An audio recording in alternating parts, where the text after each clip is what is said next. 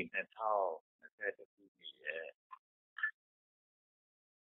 အောက်တိုဘာ21ရက်ပေါ့နော်ဒီနိုင်ဒီချိန်ပေါ့နော်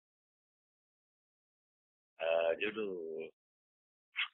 ဒီနေရာမှာ တရားဓမ္မဟောပြောလာခဲ့တာလောကလုံးဒီကမ္ဘာလုံး တရားသိတာရှိဘူးလို့ဆိုတာ ပြောပြီးတော့ အဲ့လို တရားမသိကြတဲ့အတွက်လည်းလူတွေကတော့လုံးနဲ့ဒီပခါတွေဖြစ်ဒုက္ခတွေများနေကြတာလို့တော့ပြောရင်းကနေ အဲ့ဒီအဒီချက်ပြောလာလိုက်တာအာဘာကြောင့် တရားမသိရလဲလို့ တကယ်တော့ ကိုယ်မငြိမ်းချမ်းတာကို ကိုယ်သက်တာလည်းခတ်တူဆိုတဲ့ကသိကြဘူးနော် အဲကိုငြိမ်းချမ်းအဲမငြိမ်းချမ်းတာတွေကိုဟောရောက်နေတယ်ပဲကိုယ်သက်တာသူကိုပြောသိကြတာအဲ့လိုဆိုလည်းကိုယ်မငြိမ်းချမ်းတာလည်းမသိကိုယ်မငြိမ်းချမ်းတာစီလည်းမသိဘူးလို့ဒါကိုဘာကြောင့်မငြိမ်းချမ်းတယ်လို့ဆိုရဲမတရားတာလည်းမသိအဲ့လိုမတရားမသိတာလို့ဆိုချင်တာတရားလည်းမသိတော့အဲ့လိုမျိုးလို့ ဟောပြီးတော့ပြောတာမတရားကိုမသိတာနဲ့တည်းလည်းမသိကြဘူးကြောက်တရားကိုသိဖို့အတွက်စိတ်နဲ့ပါတယ်လို့လေတရားရဲ့လက်ခံဆိုတာနော်အဲ့ဒါတွေကိုပြောအာဘယ်တော့မှမရချက်လို့ရမှာဒီတနေ့နားထောင်လိုက်ပါဒီလိုကြားလိုက်ပါဒီလိုဖြစ်နေတာအာအဲ့ဒါ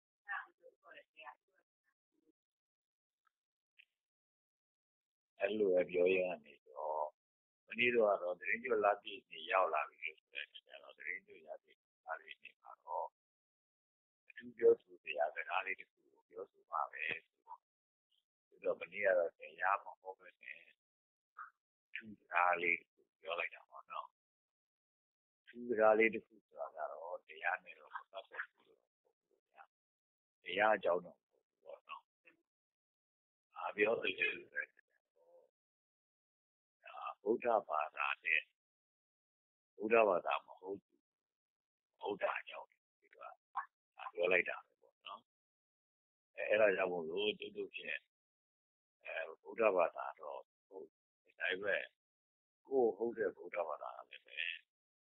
ဗုဒ္ဓဘာသာမဟုတ်ဘူးလေဗုဒ္ဓဘာသာကိုခံယူနေတာဖြစ်နေတော့အဲသူတို့နဲ့အပြိုင်ဖြစ်နေတယ်အဲ့လိုဆိုတော့ပြိုင်နေတာမဖြစ်အောင် ကိုဗုဒ္ဓဘာသာရဲ့ရှင်နာဝိသေသနာတစ်ခုမှာဝိသုပ္ပကမ္မဝါဒဘုရားဘာသာလို့ပြောထားလိုက်တယ်ပေါ့နော်အဲ့တော့ဒီကတော့ဒီဘိုင်းတော့စီတော့တော့ပါပြီဆိုတဲ့သဘောမျိုးနဲ့ဘာလို့ဆိုတော့ကျွတ်ကချိန်တော့အာဝိသုပ္ပကမ္မဝါဒဘုရားဘာသာလို့နာမည်ပေးရခြင်းအကြောင်းတော့ဘုရားဘာသာ အဲ့လည်းရှိရှိရှိတယ်အဲ့ဒီဗုဒ္ဓဘာသာလို့ဆိုတဲ့ထေရဝါဒဗုဒ္ဓဘာသာအဲ့လိုပဲထေရဝါဒဗုဒ္ဓဘာသာကနေပြီးတော့ဒီလိုလဲထေရဝါဒဗုဒ္ဓဘာသာရဲ့ပေါက်ပွားမှုပြီးလာခဲ့တာပဲထေရဝါဒဗုဒ္ဓဘာသာနဲ့ပဲလုပ်ပြီးလာခဲ့ရတာပဲအဲလှုပ်လာရင်လာရင်ကနေမှာတည်း30နာလောက်ရောက်တဲ့အချိန်မှာအဲဗုဒ္ဓဘာသာထေရဝါဒဗုဒ္ဓဘာသာကနေ ပေါက်ထွက်လာခြင်းကြောထွက်လာတယ်ပေါ့နော်အကြောထွက်လာတော့ဒီတော့တော့ဘုရားမားနေတဲ့ဟာလို့မြင်တာပေါ့နော်မားနေတဲ့ဟာလို့မြင်တဲ့အခါကျတော့အဲ့မားနေတယ်လို့မြင်ပုံလေးကိုအဲပြောလို့လည်းမရဘူးဘာလို့ဆိုတော့ကိုယ်ပဲသူတို့ကနေတော့မားနေတယ်လို့အထင်ခံရတဲ့ဟာတော့ပေါ့နော်အဲကိုယ်ပဲသူကမားတယ်လို့ထင်တယ်ဆိုတော့ သူတို့မားတယ်တော့ သွားမပြောလိုက်နဲ့ သွားလက်ညှိုးတစ်ချောင်းထိုးရင် သူကအခုခုပြန်ထိုးနေရတာ လက်ညှိုးပဲအများကြီးပြောမှာပေါ့နော် အဲ့ဒီဖြစ်သူတို့ပြောလိုက်ရင် ကိုယ့်ကိုပြောပြောတာပေါ့နော်မားနေတယ်လို့ သူတို့ပြောရင်တော့အဲကိုကတယောက်ပြောတယ်ဆိုတော့မှ သူတို့ကလည်းပဲ ကိုယ်ဒါလည်းကိုပြောလိုက်လို့ ဖြစ်ချင်တော့လူကရရမရှိအောင်မားနေတယ်ပြောတာဒါဒါကို မလှမ်းနိုင်ဘူးလို့ဒီလိုဆိုတော့ ဒါကိုလည်းပဲသူတို့နဲ့ကွဲပြားတဲ့ဗုဒ္ဓဘာသာဖြစ်အောင်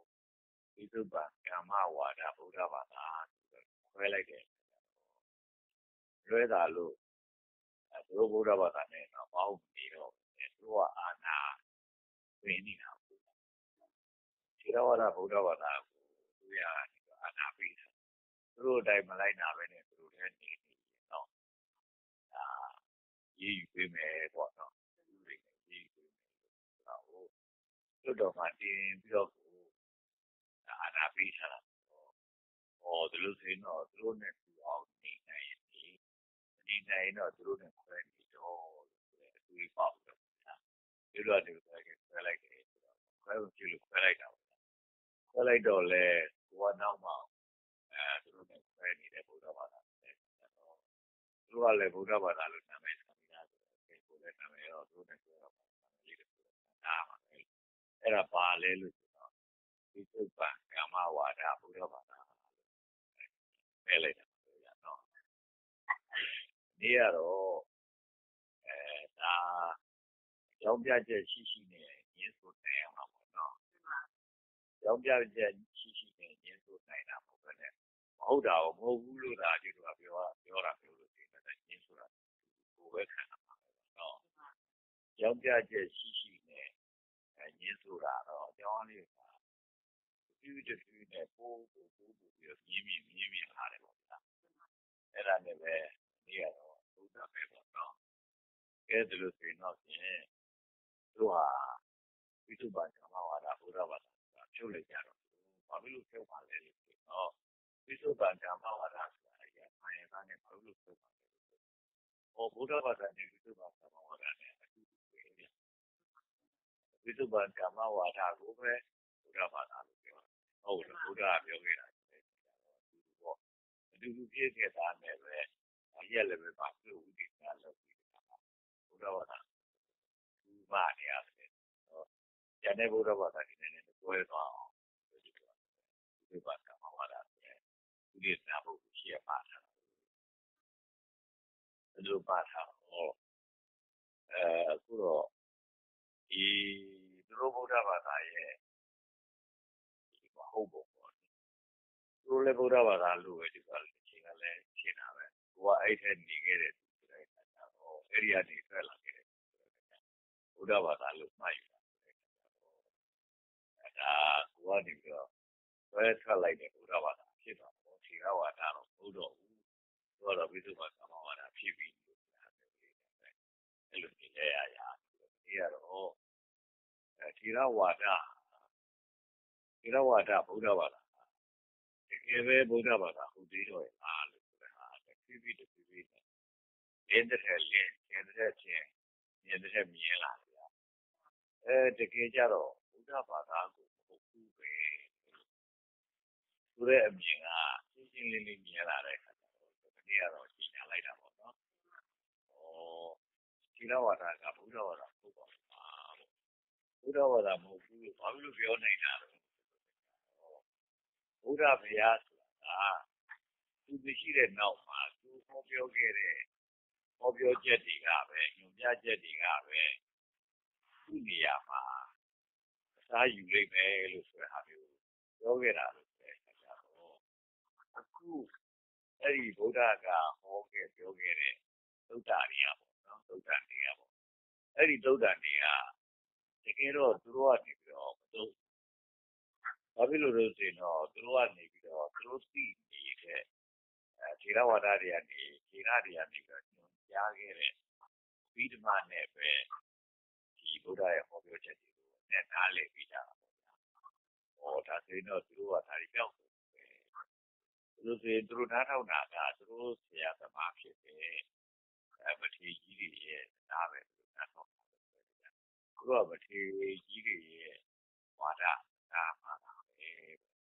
ဒီကြီးဘာသာပဲ။အော်ဗထေကြီးတွေ ဘာသာဆိုတာဘုရားဟောခဲ့တာနဲ့ တူတယ်လို့ဆိုရှင်တော့ဘုရားဘာသာပါပဲ။ဘုရားဟောခဲ့တာနဲ့သိကြသည်ဖြစ်ပြီးတကလားအဲသူတို့ကျေသုံးနေတယ်ပြောဆိုနေတဲ့ဟာက တခြားဒီဖြစ်နေတယ်လို့ဆိုတော့ သူက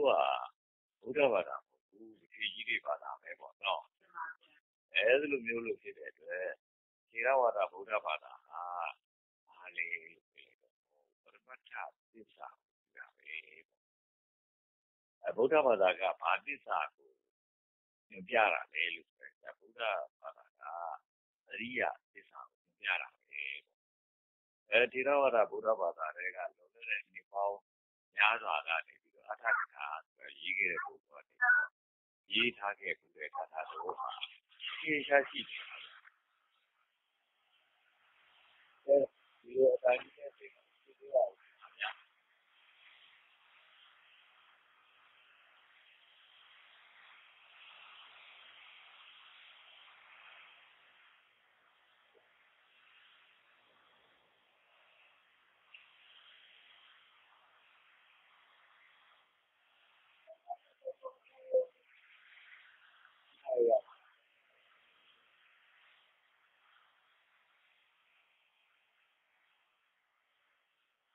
အဲခဏတည်းပဲရတော့ဆက်တော့ဟုတ်ပြီဟုတ်ပြီဆက်ပြောနော်အဲ့တော့ all လို့ဒီရဝါဒဗုဒ္ဓဘာသာရဲ့သာသနာတိရှိရဖွေရလောက်ကနေပြီးတော့အထက်ကထာရေးခဲ့တဲ့ပုဂ္ဂိုလ်ဟာပြောလဲအနာလေးတို့သိသိချာချာပြောခဲ့တယ်သူဝေသစ္စာတိအခါတိ သူဝေနှစ်ခုဖြစ်တဲ့သစ္စာတိသစ္စာတို့အဘုဒ္ဓဝဒတာမှာတော့အာဝဒတာဝရလို့ဆိုတဲ့တကယ်အမြတ်စကားတွေကိုပြောခဲ့တဲ့မြတ်စွာဘုရားကသူဝေသစ္စာတိအခါတိပြောခဲ့တယ်သစ္စာတစ်ပါးလို့ဆိုတဲ့အကြောင်းကျတို့ရဲ့ဘုရားဘုရားကပြောခဲ့တယ်လို့ ဒါပထမကထာဝကအဲ့ဒီအိတ်ပဲရှိတယ်အတူဝေသစ္စာတိအခါတိအဘုဒ္ဓဝဒတာဝရောဝဒတာဒါလည်းမြတ်တဲ့ဟာတွေကိုပြောတယ်အဘုဒ္ဓမြတ်စွာဘုရားနေပြီးတော့အခါတိပြောတယ်ဘာကိုပြောတာလို့ဆိုတော့သူဝေသစ္စာတိသစ္စာနှစ်ပါးပဲရှိတယ်လို့ပြောပေါ့ဗျာ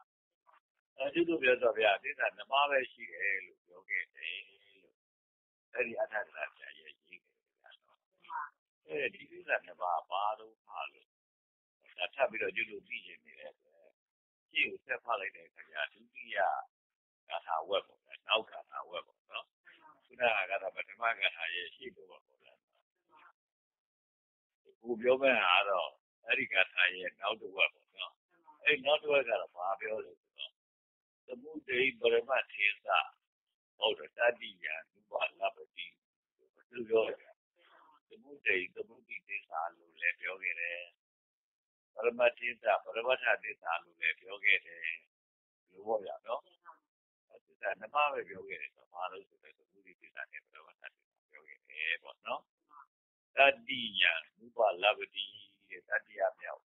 သုံးခုမြောက်သစ္စာဆိုတာတော့ဥပလပတိမရနိုင်ပါဘူးလို့အဲအဲ့လိုကိုပြောခဲ့တာဗျာနော် အဲကြည်သမအောင်တော့ဗျာဒီအထာကရာဆရာကြီးကကျေးဇူးရဲ့ဗုဒ္ဓဘုရားရဲ့တရားတော်တွေကိုအ내အိဗယ်ဖွင့်မဲ့ပုဂ္ဂိုလ်ကြီးကပြောခဲ့တဲ့စကားဗျာနော်။လောကကြီးမှာသစ္စာနှစ်ပါးပဲရှိတယ်တဲ့။ရှိတယ်လို့ဆိုတဲ့အကြောင်းကိုသူပြောတာမဟုတ်ဘူး။မြတ်စွာဘုရားကပြောခဲ့တာလို့ဒီလိုပြောတာပေါ့ဗျာနော်။အဲဘာလို့လို့ဆိုတော့ပရမတ္ထသစ္စာရဲ့သမုဒိသစ္စာရဲ့လို့ပေါ့ဆိုပြောတယ်နော်။အဲသုံးခုမြောက်သစ္စာဖြစ်တာတော့မရ နိုင်ပါဘူး။တတိယသုဘလဝတိအဲ့လိုမျိုးပြောခဲ့တာဟာဗျာနော်အဲ့လိုပြောခဲ့တော့အဲကျွတ်တို့လည်းပဲနေတော့ကတော့ဒါပြောခဲ့တာပြောခဲ့တာအတိုင်းပဲနေတာပဲပေါ့ဗျာမသိဘူးပေါ့နော်တရားဓမ္မတွေပြီးပြီးတဲ့နောက်လည်းပဲအဲတဲကြီးအထူးတော့မသိဘူးပေါ့လေခိုးခုတော့ဖြစ်တာပေါ့ဘာဖြစ်လို့လဲဆိုတော့သစ္စာသုံးပါးတော့ရှိတာဟာဘာလို့လဲပရမတ္ထသစ္စာလို့ရှိတယ်လို့သ မုဒိသစ္စာလို့လည်းရှိတယ်ပေါ့နော်နောက်တစ်ခုကအရိယသစ္စာလို့လည်းရှိတယ်ပေါ့နော်။ဟောသစ္စာသုံးခုရှိတာ။တကယ်တော့သစ္စာသုံးခုရှိတာကသစ္စာကဘာတွေလို့ဆိုအမှန်နေပေါ့။အမှန်နေဆိုတာဘယ်လိုမှန်တာလို့ဆိုတော့ပရမတ္ထသစ္စာဆိုတာပရမတ်လို့အခြေခံအကျဆုံးအရာတွေမှန်ချက်ပေါ့ဗျာနော်။ဥပမာတစ်ခုပဲအဲရုပ်တွေလည်းရုပ်ကလည်းဖြစ်ပြပါပဲ အဲနန်းဆိုရင်လည်းနန်းကလည်းဖြစ်ဖြစ်ပါပဲပေါ့ဗျာနော် အဲအဲ့လိုတွေ မှန်နေပေါ့နော် သူ့ရဲ့ အဖြစ်အပျက်တွေ ဖြစ်ပြီးနောက်ပြတ်သွားတာဟာမှန်ပဲ အဲ့လိုပေါ့နော် ဖြစ်ပြီးပြတ်သွားတဲ့အတွက် ဘာမှကိုရကြမရှိတာလည်းပဲမှန်ပဲ အဲ့ဒါ အနတ္တပဲပေါ့နော် ဖြစ်ပြီးပြတ်သွားလို့ ဘာမှမရှိတာ အနိစ္စပဲ ဖြစ်ပြီးပြတ်သွားလို့လို့အဲဆင်းရဲဒုက္ခ ရောက်နေတာမှန်ပဲပေါ့နော်ဟောအဲ့ဒါ ပရမတ္ထသစ္စာရဲ့အမှန်ပဲဗျာနော်သမုဒိသစ္စာရဲ့အမှန်ဆိုတာကတော့အခုဝိပ္ပိဝေးကြတဲ့မိဘတစ်ပါးတကယ်မိဘတစ်ပါးမှန်ပဲမဟုတ်လားအဲ့ဒီမိဘတစ်ပါးနေပြီးတော့ဒါလည်းသာသမီးကိုဝိပ္ပိဝေးထားတယ်ဆိုတော့ဒီသာသမီးတွေကလည်းပဲဟောငါတို့ဟာဒီမိဘကိုဝိပ္ပိထားတယ်ဆိုတော့မှန်ပဲမဟုတ်လားအဲသမုဒိလို့မှန်တာပေါ့ဗျာနော် အရိယလို့ မှန်တာတွေကတော့ ဘယ်လိုလဲလို့ဆိုတဲ့အရိယလို့ မှန်တာကြတော့ ငါပြောလိုက်တဲ့စကားကအဲသူနားလေပါတယ် သူ့အနေနဲ့ မခံကျင်တာလည်း မရှိဘူးပေါ့နော် ငါပြုလိုက်တဲ့ အပြုအမူကလည်းပဲသူ့အနေနဲ့ လက်ခံသွားတယ်ခံကျင်တာလည်း မရှိဘူးပေါ့နော် အဲ့လိုဆိုတော့ ငါပြောတဲ့စကားနဲ့ ငါပြုတဲ့ အပြုနဲ့အဲ့ရဲ့ပြင်တာအနေထားကိုရပါချူပါဒီကြတော့တစ်ဖက်သူနဲ့နား နဲ့တကယ်ဒီအဖြစ်ချိတ်ချက်ပြီးနေတာပေါ့နော်အဲမိဘနှစ်ပါးနဲ့သာသမီတွေအားချိတ်တဲ့ကြပါတကယ်လို့သာမိဘနေပြီးတော့သာသမီတွေကိုပြောင်းပြောချိတ်တဲ့နေပါပဲနော်အဲသာသမီတွေကလည်းပဲမိဘနှစ်ပါးကိုအဲပြောတဲ့အခါမှာအဲချိတ်ချက်မိနေတော့ပြောကြမယ်ပြီးတာနေကြမယ်ဆိုရင်ချိတ်ချက်ကမပြုတ်ဟုတ်တော့ချိတ်ချက်မိဖြစ် အဲ့လိုပဲမိဘနှစ်ပါးဖြစ်တဲ့နေပဲရတာလည်းပဲရလုပ်တဲ့သူကလည်းလင်းပုံအားချိတ်ချက်မိနေအောင်အဲအပြောတွေအပြုတွေနေနေချိတ်ချက်နေရမှာပေါ့လားအဲလင်းယောက်ျားလည်းအဲ့ဒီတိုင်းပဲမရလုပ်တဲ့သူတွေပေါ့မရလုပ်တဲ့သူဟာအပြောတွေအပြုတွေနဲ့ချိတ်ချက်ပြီးတော့နေနေနေချိတ်ချက်နေတာပဲဗျာနော်အဲ့လိုချိတ်ချက်နေတာလည်းနေမှအဲလင်းယောက်ျားကချိတ်ချက်မိသားကပြော ခံကြလောက်ပြောပြီးဆိုတော့ဗျာသူမခံနိုင်လောက်အပြုလည်းပဲလုပ်ပြီးအနေတိုင်းလည်းပဲလုပ်ပြီးလို့ဆိုချင်တာတော့သူတို့ချိတ်ချက်ထုတ်ကြတော့နော်သူတို့ချိတ်ချိတ်ချက်ပြတ်ကြတော့နော်အဲအဲ့လိုမျိုးလို့ချိတ်ချက်ကိုပြတ်သွားစေနိုင်တဲ့ဒါပေါင်းထားတိုက်တဲ့အပြောလို့မဟုတ်ဘူးပြုလည်းမဟုတ်ဘူးဒီလည်းမဟုတ်တာကြီးကိုပြောပြီးပြုပြီးနေပြီးလို့ဆိုရင်ကတော့အဲအဲ့ဒါဆိုရင်ကတော့ဒါ ချိတ်ချက်ကတော့ပြက်ကိုပြက်ပါပဲသူငင်းချမ်းပါပါလားနော်ငင်းချမ်းမှုဆိုပြီးအဲ့ဒါကို ဘာလို့ပြောတယ်လဲအရိယသစ္စာလို့ပြောပါနော်အဲသူက အရိယသစ္စာဆိုတာကသုတိသစ္စာနဲ့လည်းသူပြနော်အဲပရမတ္ထသစ္စာနဲ့လည်းသူပြနော် အဲ့လို သစ္စာ ၃ မျိုးရှိပါရဲ့နဲ့ကိုဟောဒီအထာဂရဆရာကြီးက သူလည်း သစ္စာနှစ်ပါးပဲရှိတယ်လို့ မြတ်စွာဘုရားကိုယ်တော်ဟောတယ်လို့ဗျာတောင်းလည်းပဲ ပြောသွားတယ်ဗျာနော်ဒီဝိသစ္စာနိသစ္စာတိသဗုဒ္ဓဝဋ္ဌတာဝရောဆိုတော့နော်အဲသမုဒိပရမတ္ထေသအတ္တိယနုပလဗတိဆိုတော့တစ်ချက်သူနှုတ်နဲ့တူတူရုပ်ပြီးတော့ပြောသွားခဲ့တာဗျာနော်အဲပြောလို့ရှိရင်တော့အဲ့လိုမျိုးလို့ဖြစ်တဲ့အခါကျတော့ဒီတော့သစ္စာနှစ်ပါးပဲ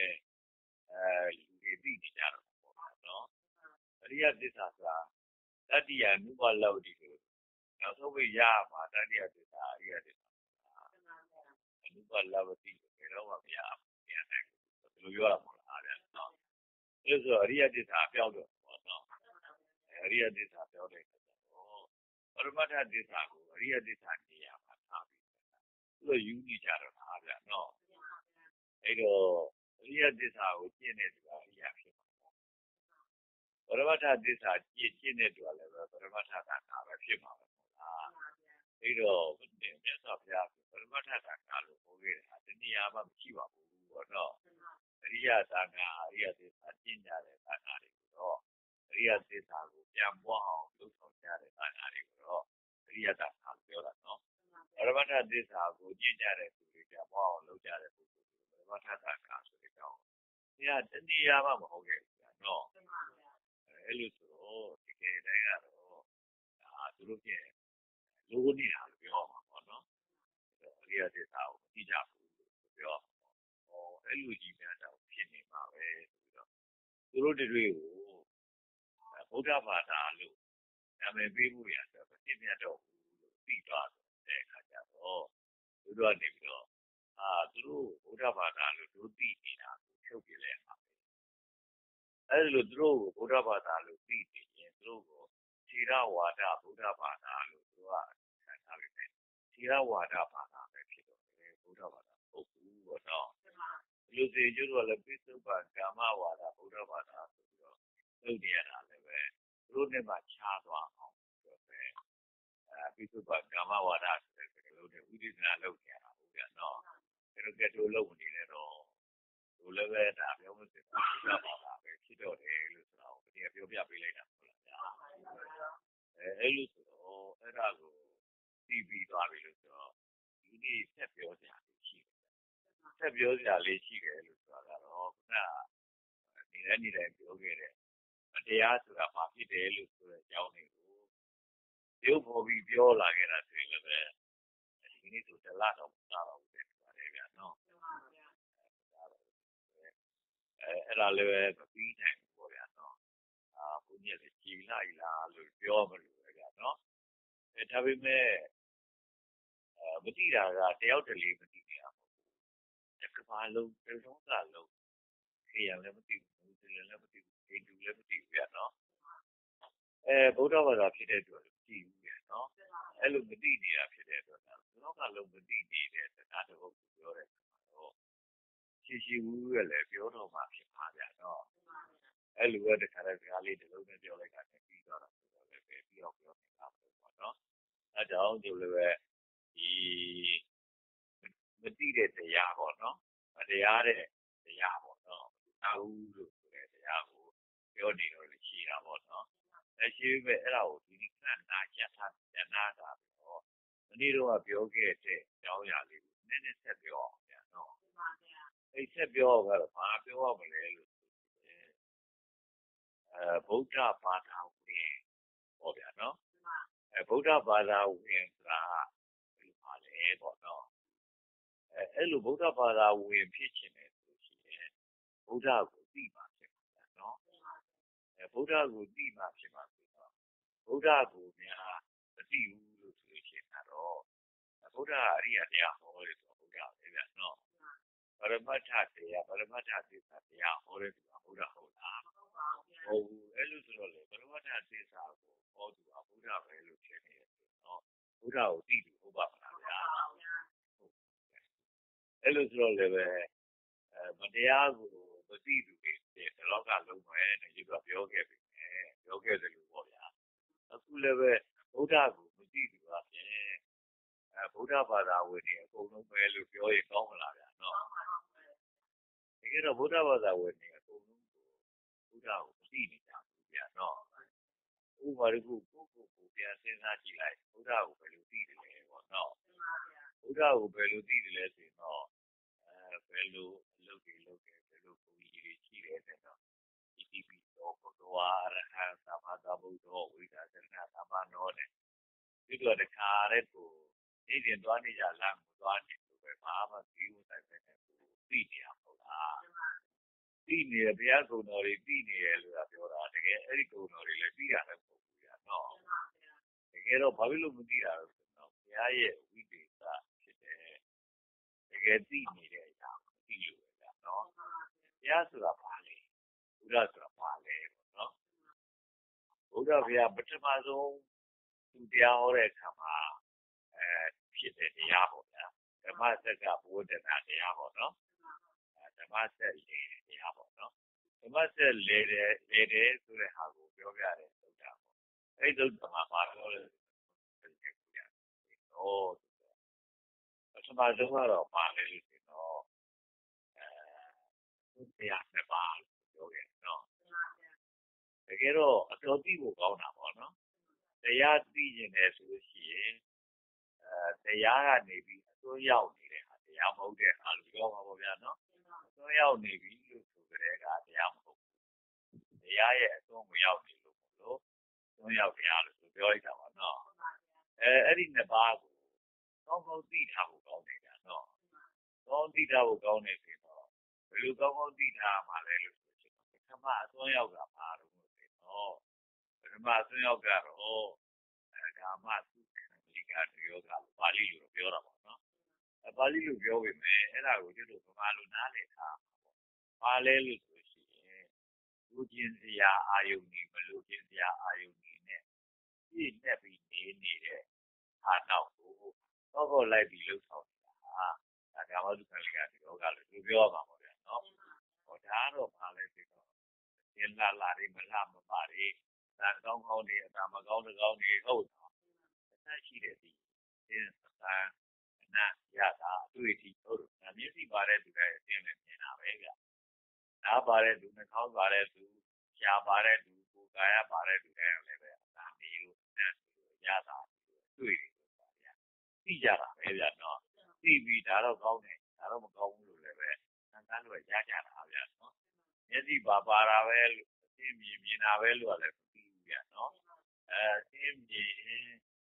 ရင်တော့မြင်တာနဲ့အခုမြင်တာနဲ့ ဆိုတော့ဘယ်ဟာကပါကလေးလို့လည်းပဲ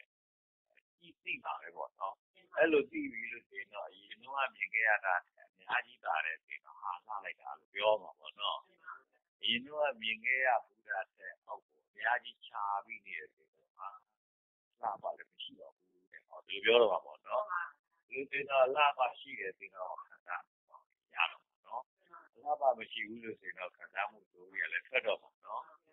သူကနေတက်တက်ခံစားကျင်တာနဲ့ခံစားရအောင်လုပ်တာပြတော့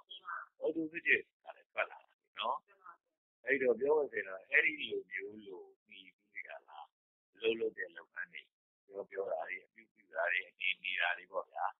ဒါတွေလုံးလုံးတာတွေပဲပေါ့ဒီလုံးလုံးတာတွေကခုနပြောခဲ့တဲ့အချင်းသာနိုင်ရတာအတွေ့အထိတွေပေါ့ပြီးပြီးကလာနေသွားတဲ့ဟာတွေဆိုတော့ဒါကာမတုခဏိကယောဂလို့ပြောမှာပေါ့နော် အဲ့ဒါတွေကိုအခုအဲ့လိုလေးနေနေတာတယ်မဟုတ်တာပဲနဲ့နောင်လည်းအဲ့လိုနေရအောင်ဆိုပြီးတော့နောက်ဘွားတွေပါလေလှုပ်ကြတာပေါ့နော်အခုလိုနေရတာရဲ့မကောင်းတာတွေကလည်းအဲ့လိုနောက်တော့ကကူကမကောင်းခဲ့လို့လို့ဆိုရဲအခုနေနေရတာကောင်းတာတော့ဒါတော့ဒီကနောက်ဘွားတွေလုပ်ကြရကောင်းခဲ့လို့နဲ့ဆိုတာသူတွေကလည်းပဲပြီးတော့နေပြီးတော့စိတ်တွေကလည်းရှည်ပြီးတော့သွားပြီလို့ဆိုရဲနောက်ဘွားနောက်ဘွားတွေလည်းပဲဝင်လာရောပေါ့ဗျာနော် ကဲဟုတ်ပြီကျုပ်တို့ဗုဒ္ဓဘုရားကိုကိုယ်ွယ်ထိကကြတဲ့သူကကာမဒုက္ခမိကနိယောဂနဲ့ထိကပြီးဆိုရင်ဘုရားဘုရားကာမဒုက္ခမိကနိယောဂသမားမှာဘုရားဆိုတော့ဘုရားဒီရောက်ပါမလားဗျာနော်အဲဘုရားကတော့တကယ်တမ်းသူကဘယ်လမ်းကနေသွားဆိုတော့မိတိမပฏิပဒါလို့ဆိုရတာအန်စရာအကျင့်ပြောတော့ပါလေနော်အဲ မေဇိမပတိဝဒအပြောမေဇိမပတိဝဒအပြုမေဇိမပတိဝဒအနေဟုတ်နော်အဲ့ဒီပြောဖို့ပြုဖို့နေဖို့ဆိုတာမေဇိမပတိဝဒအမြင်မေဇိမပတိဝဒအတွေ့ရှိပါရောအဲအဲ့လိုလေးတွေမှာလို့ပြီးတော့မေဇိမပတိဝဒလုံးလားမေဇိမပတိဝဒတတိမေဇိမပတိဝဒသမာဓိရှိပါပဲမဟုတ်လားဗျာဟောအဲ့လိုဆိုတော့မေဇိမပတိဝဒဖြစ်တဲ့အပြောအဲ အမြင်အတွေ့အပြောအပြုအနေကြိုးစားမှုလိုချမှုအဲသိဝင်ထားမှုလို့ပြောပြောမှာပေါ့နော်ဒီချက်ရှိချက်ကလည်းလူတိုင်းမှာသူ့ဘက်ကသူလို့လုပ်ကြရပဲဗျာဒီနေ့တော့လည်းဒါပဲမြင်ပြီးတော့လည်းတွေးရပဲတွေးပြီးတော့လည်းပဲပြောတာတွေပြုတာတွေနေတာတွေကျူးတာတာတွေလိုချတာတွေသိထားတာတွေလည်းဖြစ်တာသူကအဲ့ဒီချက်ရှိချက်ကတော့ဖြစ်နေတာပဲနော်အဲဖြစ်နေတဲ့အခါမှာသူက ဘာနဲ့မြင်တွေးပြောပြုနေလို့လဲပေါ့နော်အဲမိတိပါပฏิပဒါနဲ့လုပ်တယ်လို့ပြောတာပေါ့လားဗျာဒါလို့ဆိုရင်နောက်ဘဝတွေနောက်ဘဝတွေနဲ့ဒါလည်းပြောအမြင်အတွေ့အပြောပြုအနေအလုပ်တွေအဲကြိုးစားတွေဟုတ်ပါတော့ဒါတွေလုပ်တယ်ဆိုလို့ချင်းတော့ဒီသူကဘုရားဟုတ်ပါမလားဗျာနော်ဟုတ်ဘူးဗျာနော်သူတို့ဘုရားကိုသိရပါလား ဒီကာမတုခံလိကယောဂနဲ့ဘုရားသိလို့မရဘူးဗျာနော်အဲအဲ့လိုဆိုရင်နောက်ထပ်တစ်မျိုးကတော့နောက်ဒီမိမိဇဝပฏิပဒါရဲ့အစိုးရောက်တဲ့အခါတော့အတ္တကိလေသာယောဂလို့ပြောတယ်ပေါ့ဗျာနော်အတ္တကိလေသာယောဂတော့ခုနကအစိုးရောက်တာရဲ့ပြောပြဟုတ်လားခုနအစိုးရောက်တာကတော့သင်မေလာမလားဒါနေကောင်းကောင်းအနာရတာအတွေ့အထိတွေဟန်ကြမကြပါတော့ အဲ့ဒါတွေနဲ့သူကဒါနေခဲ့တဲ့သူဆိုတော့အတန်လည်းအစင်းလည်းပဲမရှိဘူးအတန်လည်းပဲမရှိဘူးဟုတ်ပါတော့ကောင်းမကောင်းမရှိဘူးအနံ့လည်းအရသာလည်းအတွေ့အထိလည်းကောင်းမကောင်းမရှိဘူးဟုတ်ပါတော့အဲ့လိုနေတာမျိုးဆိုတော့အတ္တကြီးကထားလို့ပြောကြပါတော့နော်တကယ်တော့အစင်းကောင်းကောင်းမမြင်ရဘူးလို့ဆိုရင်ကိုယ်လည်းမတက်ကြဘူးဗျာနော်အစင်းညံ့ညံ့မြင်ရလို့ရှိရင် တော့မခံနိုင်ဘူးဗျာနော်အတန်ကောင်းကောင်းအနံ့ကောင်းကောင်းရတာကောင်းကောင်းအတွေ့အထိကောင်းကောင်းတွေတွေ့ရတယ်လည်းတက်ကြပါပါနော်အဲအတန်ကလည်းပဲကောင်းကောင်းမဟုတ်ဘူးအစင်းကလည်းကောင်းကောင်းမဟုတ်ဘူးအတန်လည်းကောင်းကောင်းမဟုတ်ဘူးအနံ့ရတာအတွေ့အထိလည်းကောင်းကောင်းမဟုတ်ဘူးသိတဲ့ကြပါပါနော်သိတဲ့ကြတယ်ဆိုလို့ရှိရင်ကိုယ့်ကိုယ်ကိုလှည့်ပြောင်းပြီးတဲ့အခါအဲ့လိုအတန်ဒီအဲအနံ့နေရတာတွေအတွေ့အထိတွေကောင်းတဲ့ကောင်းတော့ကိုလိုက်ပါပေါ့နော်အဲကောင်းတဲ့ကောင်းတော့လိုက်တယ်လို့ ပြောတော့သူလည်းပဲပြန်ပြီးကြွလာမှာပေါ့နော်ဒီကလေလူကအဲ့လိုပဲဆက်လည်းမမြင်ရဘူးကောင်းမကောင်းမသိဘူးဗျာအတန်လည်းကောင်းမကောင်းနေမသိဘူးအနံ့လည်းကောင်းမကောင်းနေမသိဘူးရတာတွေလည်းပဲကောင်းမကောင်းနေမသိဘူးအဲအတွေ့အထိတွေလည်းကောင်းမကောင်းနေမသိဘူးအဲ့လိုဖြစ်လို့ရှိရင်ဒီလူကတော့ပြောပါဦးတော့လားကြတော့တာအဲ့ဒါဘယ်လိုပြောပါလဲစိတ်တက်ကြတယ် ပြောပါဗျာနော်အဲစိတ်တက်ကြပြီလို့ဆိုရင်တော့ဒါကုကတော့ပြောတော့အတ္တကိလေသာလို့ပြောတာပေါ့နော်ဟောဒါလည်းအဲ့အနေနဲ့ဆိုတော့နောက်တလားမယ်ဗျာနော်ခုနကတော့အသင်းသာနာရတာအတွေ့အထိအဲကောင်းကောင်းနေနောက်ကိုလိုက်တာတော့ဒါမှသုခမိကယောဂဟုတ်တော့ခုအဲ့ဒါတွေနဲ့ကင်းပြီးနေနေအောင်ကိုလုပ်ပြီးလို့ဆိုတော့ ဟောအတ္တကြီးလည်းမထားဘူးယောဂပေါ့နော်အဲတကယ်လို့ပါကိုယ်အိမ်တော်ကလေးပြုထားရင်ကကိုယ်အိမ်တော်ကလေးကတော့ပြင်မနာပါတော့ကိုကနေပြီးတော့ဥဆောင်ပြီးသားကြရှာရဝိဇ္ဇာရှာရဒီကြရှာရနေဟုတ်နော်အဲအိမ်ကဇနီးတွေလုပ်တဲ့သူကတော့ကလေးတွေတွေ့ရအဲအိမ်ကိုသိရဟုတ်နော်အဲအသူကရောရဖွေးရတယ်သူကတော့ပြင်မနာဖြစ်တယ်ဟိုတစ်ဖက်ကတော့အပြင်ထွက်ပြီးတော့အလုပ်လုပ်ရတယ်ပို့ပြီးတော့ပြင်မနာပေါ့ နော်အဲနှစ်ယောက်လုံးလည်းပြင်မတော့ပြင်မကြတယ်ပိုးပြင်မနာယောက်ျားသားပြင်မတယ်ယောက်ျားသားတွေတော့ဆက်ဆက်ကိုကြတာဗျာနော်အဲသာသမီတွေရွယ်မြောက်သေးခင်ကတော့လုတ်ကကျွေးပေါ့ဗျာသာသမီလေးတွေရွယ်လောက်ရောက်လာပြီလို့ဆိုတော့အဲသာသမီတွေလည်းလုတ်နေတယ်ဟာဒီသာသမီလည်းပဲသူတို့အမေဖြစ်တဲ့သာသမီကိုလည်းပြောရတယ်လုတ်ကကျွေးကြမှာပါပဲနဲ့အဲသာသမီတွေနဲ့ဒီကလုတ်တဲ့သူ တွေဟာလည်းတော့ထက်တော့အားရတော့အဲဘာလုတ်တာတော့ဆိုလို့ရှိရင်သင်လည်းလာမလာဘူးလို့ကျွန်တော်အတန်နေလည်းပဲကောင်းကောင်းနေနဲ့နေရတာတွေအတွေ့အထိလည်းကောင်းကောင်းနေလို့ကျွန်တော်အဲ့ဒါနေကြီးနေတာပေါ့ဗျာကြီးနေတော့ဘာလို့လို့ဆိုတော့တော့တဲ့တဲ့ကကြတော့ရရောက်တဲ့စိတ်ကလည်းရှိတာကိုနေနေကြရှိတယ်ကိုရွာကိုရကိုသားကိုမယားကိုမိသားစုတွေဒီပြန်ပြန်ရောက်နေတာပေါ့ဗျာကဲပြန်ပြန်ရောက်နေစိတ်ကိုထိထားပဲ အဲထိမှာပဲပေါ့လားဗျာစိတ်ကိုထိထားပြီဆိုရင်တော့သင်ရဲ့လှမလှတော့ကိုလိုက်ပါအောင်တော့ဟောအတန်ကောင်းကောင်းနေနဲ့နေရတာတွေအတွေ့အထိတွေအကြမကြတယ်တော့မလိုက်တော့ဘူးဗျာနော်ကဲဒါဆိုရင်တော့သူသိတယ်တက်ပြီးလားကြာသေးတယ်လားသိတယ်ကြာတာဗျာအဲ့ဒါကိုပဲအတ္တကြီးလို့ပါကြီးလို့ဆိုတာဘိုးဆိုတာကြီးသွားတာညှိုးသွားတာလည်းလူပြောပါတော့နော်ကဲအဲအဲ့လိုမျိုးကဒါ အသွင်တူပဲဗျာနော်ဒီလိုပြအဲ့လောက်လိုက်ကြလားလိုက်ဘူးတဲ့ဒီအသွင်တစ်ခုကိုမမီဝဲပဲနဲ့နေလိုက်တဲ့အခါကျမှအလေလမ်းပေါ်လာတယ်နော်အဲအဲ့ဒီအလေလမ်းဆိုတာပေါ်လာတဲ့အခါကျမှသူအလေလမ်းတိုင်းပဲသွားတော့တယ်ရှောက်တော့တယ်ပေါ့ဗျာနော်အလေလမ်းဆိုတာဘာထုံးလို့မိဘလေးကိုတော့မိကြတယ်ဗျာနော်အလေလမ်းဆိုတာဘာလို့ဆိုတော့မိဒီမာပฏิဝဒဆိုတာဘာလို့ဆိုတော့သာမာတရားပေါ့ဒီလိုပြောတယ်ဗျာနော် အာသာမာလည်းဘာသာမာတာတို့မေးတဲ့အခါကျတော့အမြင်မှလည်းသာမာတယ်ဗျာတဲ့ဟုတ်နော်အခါအတွေးမှလည်းသာမာတယ်ဗျာတဲ့အပြောမှလည်းသာမာတယ်အပြုမှလည်းသာမာတယ်အနေမှလည်းသာမာတယ်ဟုတ်နော်ကျူသားမှုတွေနှိုးကြားမှုတွေသိထားမှုတွေဖြစ်တဲ့အချက်လုံးချက်မှလည်းသာမာတယ်ပေါ့ဗျာအဲ့တော့သမ္မာဒိဋ္ဌိသမ္မာသင်္ကပ္ပသမ္မာဝါစာသမ္မာကမ္မန္တသမ္မာအာဇီဝသမ္မာဝါယာမသမ္မာမာတတိတမ္မာသမာဓိဆို တော့တမ္မာဖြစ်ချက်ပြောပြတာဗျာနော်အဲ့တော့အမြင်အဲတမာတဲ့အမြင်နဲ့သူမြင်တယ်တွေးလဲတွေးတယ်တမာတဲ့ဟာနဲ့ပဲနော်အဲအဲ့ဒီတမာတဲ့အမြင်တွေတွေးတွေနဲ့ဖြစ်လာတဲ့ဟာတိုင်းပြောတော့လည်းပဲအဲ့ဒါနဲ့ပဲပြောတယ်ပေါ့နော်အဲပြုတာလည်းအဲ့ဒါနဲ့ပဲပြုတယ်နေတာလည်းအဲ့ဒါနဲ့ပဲနေတယ်အဲအလုပ်ပဲနေကြိုးစားပြီးလုပ်ခဲ့တယ်ဆိုရင်လည်းသူအဲ့ဒါနဲ့ပဲကြိုးစားတမာနဲ့ပဲကြိုးစားတယ်ပေါ့နော် အဲတမာတဲ့ကြိုးစားမှုနဲ့ပဲကြိုးစားတယ်တမာတဲ့လူကြမှုနဲ့ပဲစိတ်ဓာတ်ကိုလည်းပဲအဲတိပြလေးကိုသုံးနေအောင်တိတာလေးလေ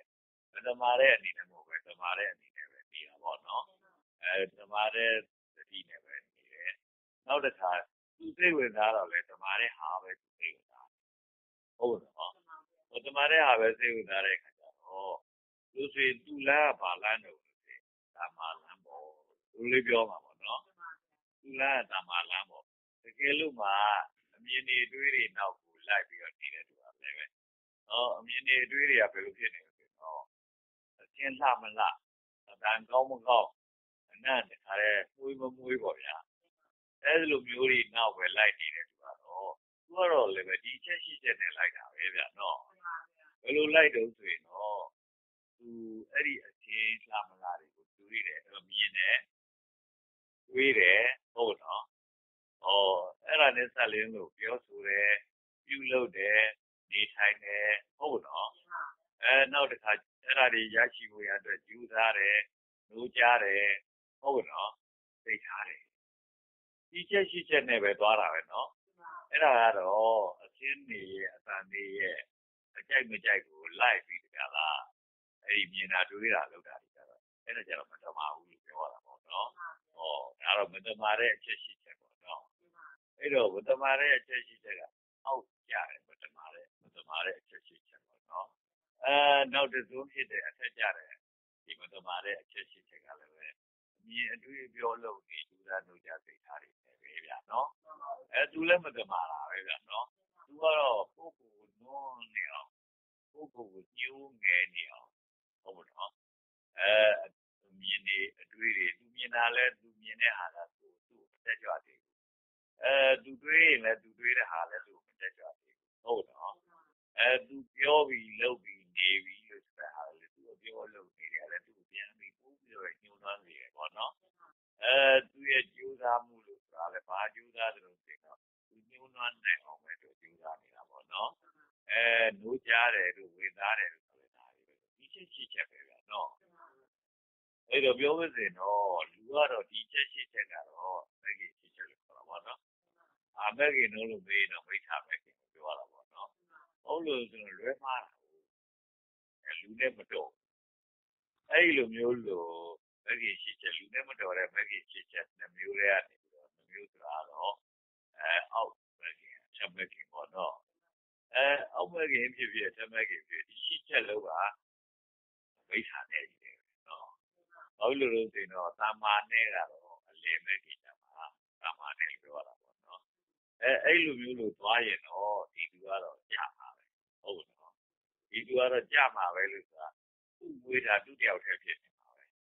ဘလို့လူပုံလည်းမမွေးထားတာအဲ့ဒီလူတွေနဲ့သူကြာဖြစ်နေမှာပဲဟုတ်နော်အဲရဖြစ်နေလို့ရှိရင်တော့သူ့တယောက်တည်းဖြစ်နေပြီဆိုတော့သူကြာဆုံးမှာပေါ့နော်ဟောဒါကြောင့်မလို့သူတော့ဒါလေလာမဟုတ်ဘူး ဟုတ်နော်အသွမ်းလန်းနေလို့သူပြောတာနော်အသွမ်းလန်းကလည်းဘယ်နှခုကြာပြီဖြစ်ခုနော်လေလာကလည်းပဲဖြစ်ခုပါနော်အဲ့လိုရနော်အဲ့တော့ကျွတ်တို့ဗျာလေလာသွားတာတော့လို့ဆိုတယ်လေလာနဲ့သွားဟုတ်နော်လေလာနဲ့သွားတယ်ဆိုတော့ဗုဒ္ဓဘာသာလို့ဆိုတော့ဗုဒ္ဓဆိုတာကတော့ဘုရားပေါ့နော်လေလာအတိပြီးတယ်သူပေါ့ဗျာဘာသာဆိုတာကတော့ အဲ့ဒါရဲ့အလင်းပေါ့နော်အဲဗုဒ္ဓဘာသာလို့ဆိုရဲအဲဗုဒ္ဓရဲ့အလင်းလို့ဗုဒ္ဓကဘာလို့လို့ဆိုတော့ဒီတမ္မာလမ်းရှိချက်နေတဲ့သူဗုဒ္ဓနော်အဲ့တမ္မာလမ်းရှိချက်နေတဲ့သူရဲ့အလင်းကိုတော့ဗုဒ္ဓဘာသာလို့ပြောရတာပေါ့နော်အဲသူဒီအလေလမ်းရှိချက်ကဘယ်လိုလုပ်ပြီးအလင်းအောင်ထွက်လို့လဲဟောအလင်းအောင်ထွက်တယ်ကနော် မိစ္ဆာဘာသာလည်းထွက်တာပဲဗျအလင်းအောင်ကနော်အဲမိစ္ဆာဘာသာထွက်လို့မလို့အဲသူကျမဆို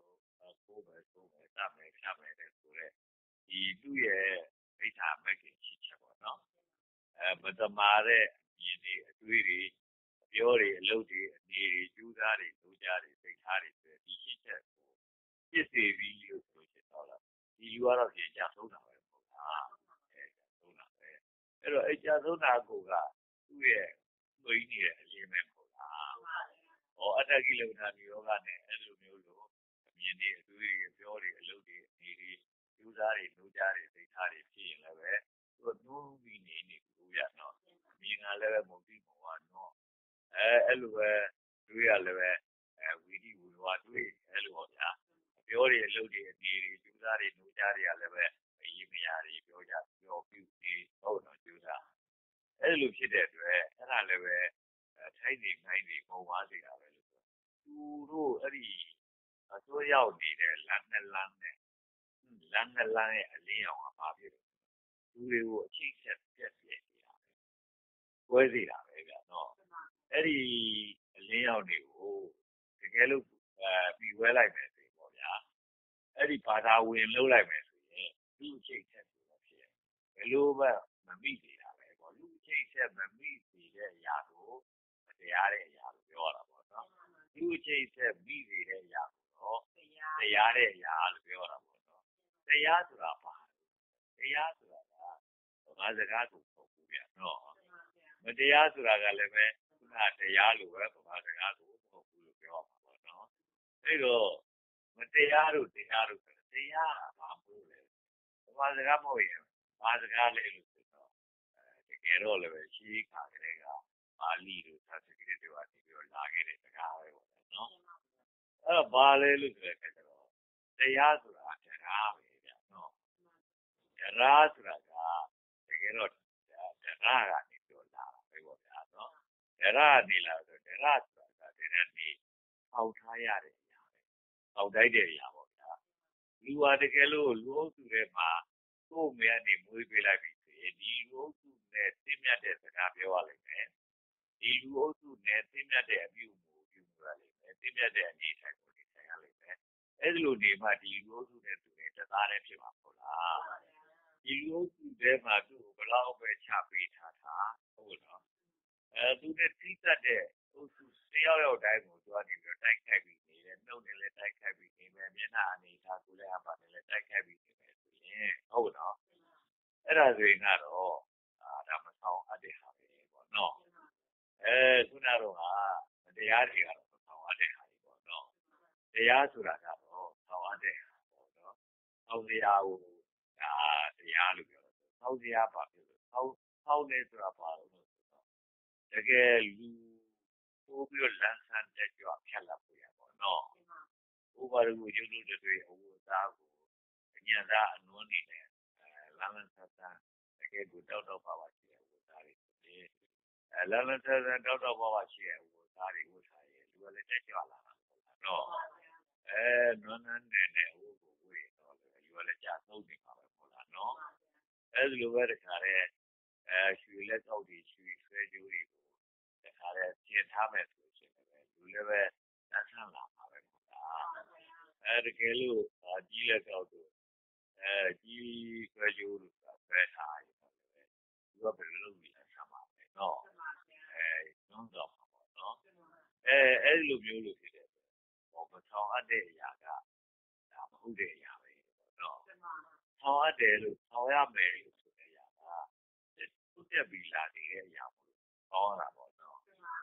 ကဲရွှေတို့ကြောက်တာဗရမများတို့ဝတ်ထည့်ထားလို့ရှိရင်ဒီလူတမိုးကမြင်လာတယ်ဟုတ်လားဗျာနော် အဲရွှေလည်းမရှိဘူးကြောက်တာဗရမများလည်းမရှိဘူးဟုတ်တော့အဲလိုမျိုးလို့ဖြစ်ပြီးတော့သူ့ဝတ်သားတွေကလည်းအကုန်လုံးနန်းစုပ်ဆိုတဲ့ကတော့ဒီလူဘယ်လိုလုပ်ပြီးတော့တောက်ပါပါလဲဗျာနော်အဲအဲလိုမျိုးလို့ဖြစ်တဲ့အတွက်တောက်ပါတဲ့လူကလူရသိမှုပဲဗျာနော်တောက်ပါတဲ့လူကလည်းလူရဝင်မှာမဟုတ်လားဗျာနော်သူရဲ့လူတွေတော့မကပဲနဲ့နွားတွေတော့အဲ့လိုလိုပဲလေဗျာအဲနွားကိုဘယ်လိုခေါ်လဲထိတ်ဥတို့ပါလို့ဆိုတော့နော် အဲ့လိုများတဲ့ခါတဲ့တန်းစာထင်လာလို့ချင်းအဲ့နွားလေးကြောက်ကြောက်ကြောက်ကြောက်နေပုံနေရပဲလေဗျာဒီလားအဲလဲကလေးတွေပါလေးတွေရုံဖို့အတွက်အဲလဲရင်လေးတွေရုံဖို့အတွက်တခါအသာထင်ထားတဲ့နွားတွေပေါ့ဗျာနော်အဲအဲ့ဒါဆိုရင်တော့သူတွေသူတို့ကတခါတည်းပြည့်တိပြည့်တွဲနေသွားနေတာမဟုတ်ဘူးလေဗျာတက်တက်ကြွကြွဖက်ဖက်လက်လက်သွားတာပဲလို့သူပြောတယ်ဗျာနော်လှလာလှလာပြီဆိုရင်တော့ကြွလာတာပဲလို့သူပြောပါပေါ့နော်အဲ့လိုမျိုးလို့ရှိတယ်ပြောကြတယ် အဲ့လှတဲ့ဟာကိုဘယ်လိုပြောရသလဲလို့ဆိုလိုက်တာတော့ဆောင်ရတဲ့အရာမလှမဲ့အရာကိုဖေရှားရတဲ့အရာပေါ့နော်ဆောင်ရမဲ့အရာပေါ့နော်အဲ့တော့ဆောင်ရမဲ့အရာကိုဆောင်ရမဲ့အရာဖြစ်တဲ့အတွက်ပါဠိလိုအဲတရားပေါ့နော်အဲတရားကိုပဲအဲတောက်ချိုက်တာကိုပြောက်ပြီးတာလားတောက်မှုတာပြောရတော့တရားလို့ဖြစ်တာပေါ့နော်တရားကိုပဲအဲရာဂောကိုဗမာရှာမလို့ခဲ့အောင် နော်ရှာမလိုက်တော့တရားလည်းတရားလို့ဖြစ်တော့ပဲတရားလို့ဖြစ်တာပေါ့နော်တကယ်ကတော့ဓမ္မပါပဲဗျဓမ္မကိုပဲတရားလို့ပြောတာလို့သူပြောပါပေါ့နော်အဲအဲ့လိုဆိုတဲ့အခါကျတော့ခုနကတော့ဒီတမာတဲ့လမ်းရှိချက်ပေါ့နော်လမ်းတွေရှိချက်ပေါ့တမာတဲ့တမာတဲ့လမ်းတွေရှိချက်ကတော့ဆောင်ရမယ်တရားပေါ့ဗျာနော်ခုနတော့ မတမာတဲ့မိစ္ဆာဖြစ်တဲ့လမ်းတွေရှိချက်ပေါ့နော်အမြင်ရဲ့အတွေးရဲ့အပြောရဲ့အလုပ်ရဲ့အနေရဲ့ကျူးသားရဲ့ဒုကြရဲ့သိထားရဲ့ဒီလမ်းတွေရှိချက်ပေါ့နော်ဒီလမ်းတွေရှိချက်နဲ့တခါလေနေပြီလို့ဆိုရင်တော့ဒါကတော့ပြမဆောင်ရတဲ့ဖြစ်လာတယ်ပဲဟောမတရားဘူးလို့ပြောကြတယ်ပေါ့နော်ကဲအဲ့လိုဆိုတော့ပြုလို့ဘုရားကသူကတကယ်ကိုတမ္မာတရားနဲ့ပဲ နေနေပြီဟုတ်လားဗျာသူတရားကျင့်လိုက်တာအစာဆုံးတရားကျင့်တာအာမမတွေ့ခဲ့ဘူးတော့6နှစ်လောက်ကြာအဲတရားကျင့်ပြီးတရားလည်းမတွေ့ဘဲနဲ့နေနေရင်ကနေပြီးတော့6နှစ်ရှိတော့ဘယ်လိုမှတော့ဖြစ်လာတော့ဘူးပါပေါ့အဲ့ဒီလိုဆိုရင်တော့လူတွေကိုလည်းသူညီလေးကိုရတာတော့ဘယ်လိုမှဖြစ်နိုင်ဘူးပေါ့ငါတော့လူလောကကြီးအိတ်ခတ်တွေပြီးပြီးတယောက်နဲ့တယောက်ထိုးကြချိတ်ကြရိုက်ကြပုတ်ကြစကြဖြတ်ကြ အဲ့ဒီလိုပဲ စီဝါတွေပိုးကြထိုးကြလူကြရဲကြပေါ့ဗျာ ဒီမငြင်းမအေးမှုကြီးလောကကြီးကိုပြောခိုင်းပြီးတော့ ပျောက်ပြက်ပြီးလာလူတွေတို့တူတော့ချစ်ချစ်ခင်ခင်အေးလေးစားစားပေါ့ဗျာနော်အဲအဲ့ဒီလိုမျိုးလို့ဖြစ်တဲ့ဒီလမ်းဖြစ်တဲ့ သူဆောက်ထားတဲ့ဟောတရားက ဘာလို့ဆိုတာ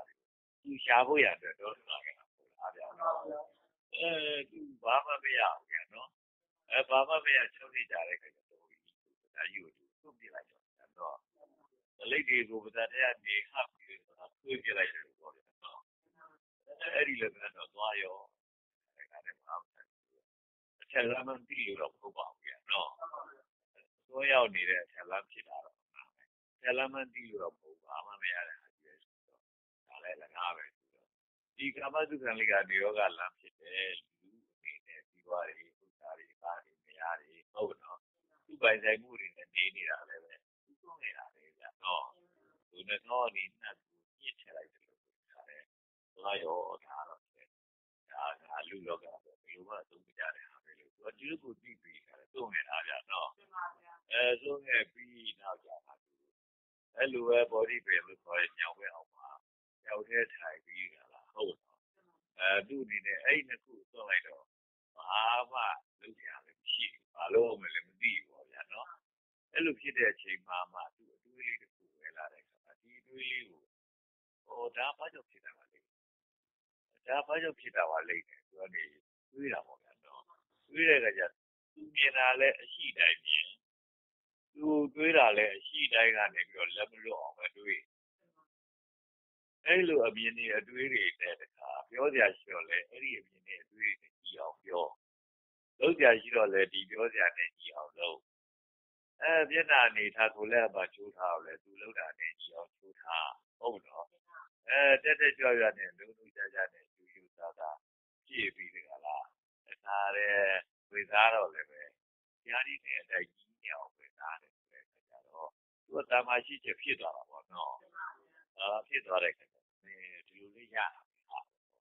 တော့တတိယလမ်းပေါက်သွားတာပေါ့နော် တတိယလမ်းပေါက်သွားတဲ့အခါကျတော့သူတို့များဒါကိုစပေါက်တော့ယထာဝေပါတုဘောတိသမအာဒါဘိနောသာယတောပြေမနတာဆိုတော့ဘာသာလေးတစ်ခုကိုကကြပြာပေါ့ဗျာနော်သူ့ခါရဲအတိတွေကဖြစ်တဲ့အခါကျဒီအတိတွေကနေပြီးတော့ပဇတ်သေးကိုလုံးတွေတက်လာတာဗျနော်အဲ့ဒါကိုဥဒန်းလို့ခေါ်ပါတော့ဥဒန်းဆိုဥဒါကတက်လာတာငါတက်လာတာပေါ့နော် အဲ့လိုတက်လာတဲ့အခါကျတော့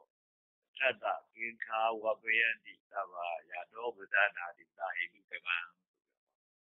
တကယ်ကိုပဲသူဖြစ်အလုံးတန်တရားတွေပျောက်ကုန်နေတဲ့တရားကိုသိပြီးအဲ့လိုဖြစ်သွားတာပေါ့လားဗျာနော်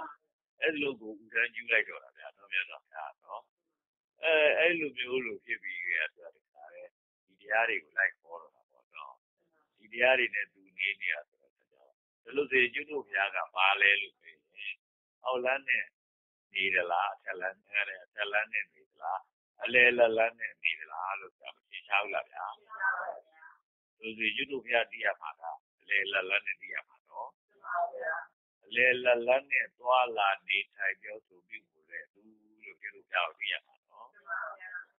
အဲတကယ်လို့ကျွတ်တို့ကနေပြီးတော့အာငါတို့မြတ်စွာဘုရားဟာ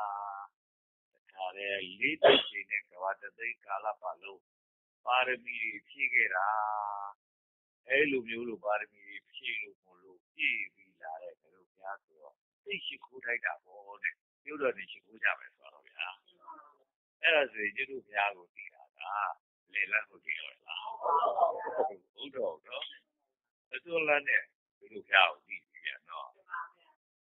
အမှန်တော့ဗုဒ္ဓဘာသာဆိုတာ ဗုဒ္ဓကတော့ ဘုရားပဲပေါ့နော် ဘာသာဆိုတာ အလင်းဆိုဘုရားပါလို့ဆိုအလေလန်းနဲ့နေတာ ဘုရားတော့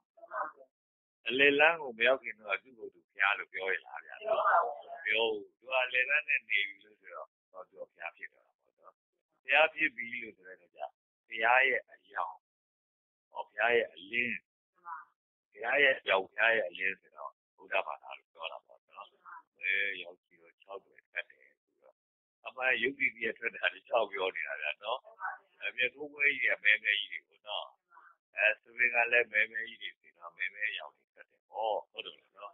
သွားကတော့ဖြူဖြူလို့ဆိုတဲ့အခါကျတော့ဖြူဖြူရောင်တွေထွက်တယ်ပေါ့မျက်ဖြူကလည်းဖြူဖြူတွေဆိုတဲ့အခါကျဖြူရောင်တွေထွက်တယ်ဒီ6ပြောနေကြတာဗျာနော်အဲဒါလိုပဲ